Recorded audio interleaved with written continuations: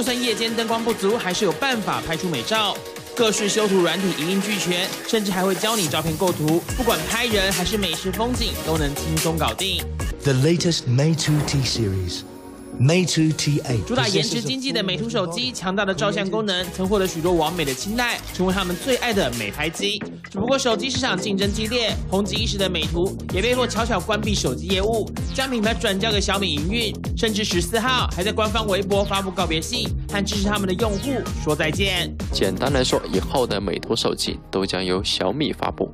事实上，美图手机一度是美图集团的重要收益。二零一七年更曾卖出超过一百五十七万台手机，营收高达一百七十四亿新台币。没想到小米、华为等手机大厂集体直追，开始主打美颜自拍，这样各式、这样各种应用程式的兴起，美图手机被市场边缘化。二零一八年销量锐减到七十二万只，剩下一半不到，净亏损更达到五十五亿新台币。美图为了企业存续，直接忍痛将手机业务转让给小米。毕竟目标偏向小众，以及 OPPO 和 vivo 在自拍领域的一再发力，导致美图手机的出货量一直在下滑，造成了业务亏损。美图忍痛割爱手机业务，凸显中国手机市场小品牌生存空间不断遭到限缩，加上中国手机市场趋于饱和，想要在华为、小米、OPPO、vivo 等四大品牌夹杀下杀出一条血路，恐怕是难如登天。三立新闻文报道。